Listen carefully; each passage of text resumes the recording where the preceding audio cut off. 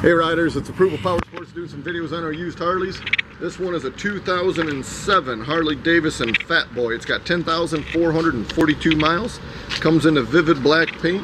I see it's got a little bit of uh, pinstriping, but the red stands out, looks real good. There's tons of chrome. Loaded up with all the extras. It's got a polished front wheel. It's got the uh, windshield I see. Um, backrest, luggage rack. One good looking bike, man. This thing's got dual Vance and Hines exhausts, which make these fat boys sound great. This thing also has a reverse kit put in it, so that's a hell of a feature. Guys, keep an eye on our website, YouTube channel, Facebook page. We got out-of-state financing, nationwide shipping. Call today and you can ride today. It's approvalpowersports.com.